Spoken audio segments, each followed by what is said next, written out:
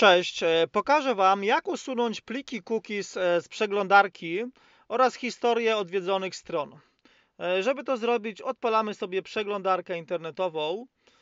No i tutaj po prawej stronie mamy klawisz taki funkcyjny, klikamy, pojawia nam się do wyboru kilka opcji, wchodzimy w ustawienia tutaj. Następnie przesuwamy listę poniżej i musimy wybrać sobie prywatność. Klikamy w prywatność Tutaj też e, przesuwamy e, palcem nieco niżej i mamy wyczyść e, dane przeglądania. I tutaj możemy oznaczyć kilka opcji. Historię przeglądania możemy wykasować, możemy pliki cookies z danych stron, obrazy i pliki zapisane w pamięci podręcznej, nawet hasła możemy wyczyścić, no i auto uzupełnianie danych formularzy.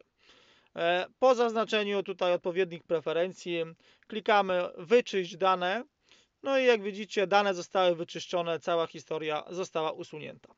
Tak to się odbywa. Jeżeli pomogłem w tym filmie, koniecznie oczywiście zostaw łapkę w górze, no i komentarz.